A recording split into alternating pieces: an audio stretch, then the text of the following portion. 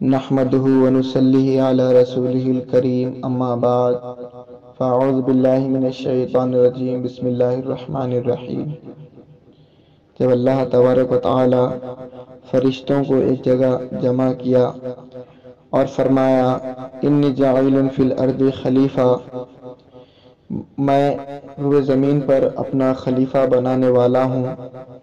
तो फरिश्तों ने कहा, ए अल्लाह हम तो तेरी तस्बीह बयान करते हैं, तेरी हमदो सना करते हैं तो ऐसे शख्स को क्यों अपना खलीफा बनाएगा?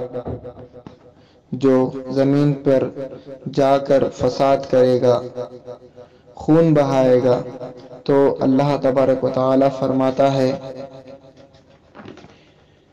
इन्नी आलम माला तालमून जो मैं जानता हूँ वो तुम नहीं जानते। अब पीर किसी नए मुरीद को खिलाफत से सरफराज फरमाता है तो जो पीर साहिब के पहले मुरीद हैं, जो पाँच साल, दस साल या बीस साल से मुरीद हैं, उनको खिलाफत न देकर पीर ने नए मुरीद को खिलाफत से सरफराज फरमाया है। तो वो पुराने मुरीद कहते हैं कि हमारे पीर ने हमें खिलाफत न देकर, यानी जो पुराने मुरीद हैं, उनको खिलाफत न देकर। इस नए मुरीद को खिलाफत कैसे दे सकते हैं?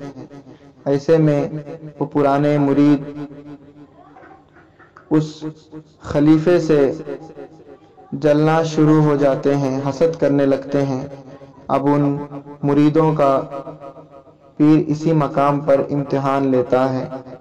अगर पीर ने कहा, जो मैं जानता हूँ, वो तुम नहीं जानते तो इस बात को वो मुरीद समझ ले तो वो सिफात मलकूती पर पहुँच जाता है और न माने तो शैतान के दर्जे से भी गिर जाता है।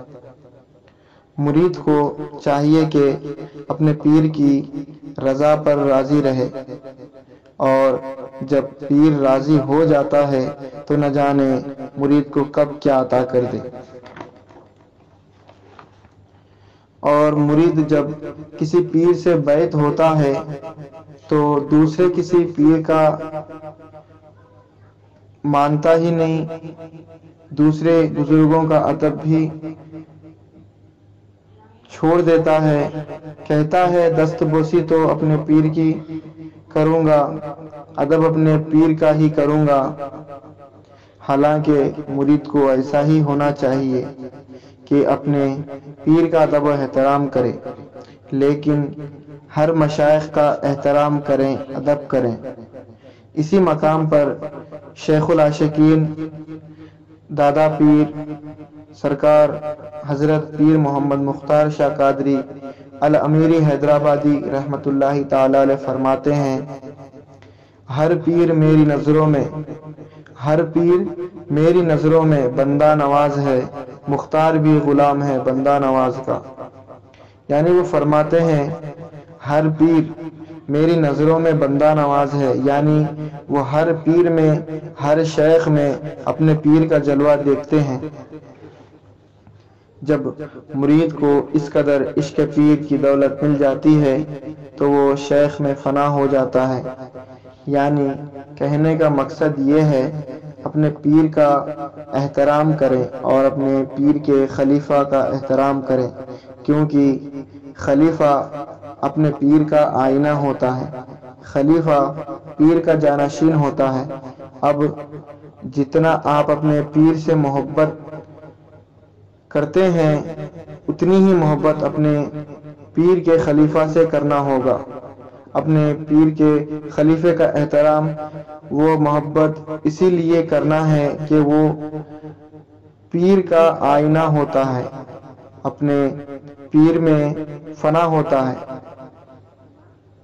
पीर की जात में फना होकर फनाफिश शेख हो जाता है। अल्लाह करीम हम सबको अपने पीर की रजा पर राज़ी रहने वाला बनाए हमारे पीर, हमसे हर वक्त राज़ी रहे, खुश रहे, आमीन।